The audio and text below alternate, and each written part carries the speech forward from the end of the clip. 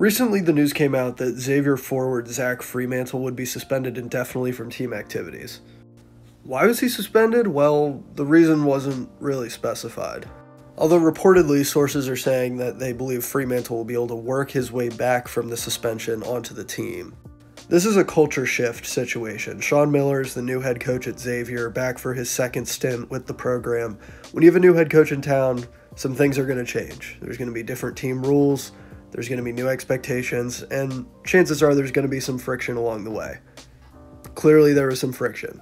Zach Freemantle is one of Xavier's two best players. He was fairly inconsistent last year after undergoing foot surgery in the offseason, so he missed 12 games. He comes in, he's not always on.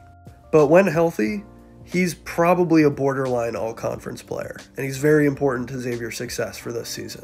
How long will the suspension be? We don't know. It's indefinite, but it's obviously something to monitor.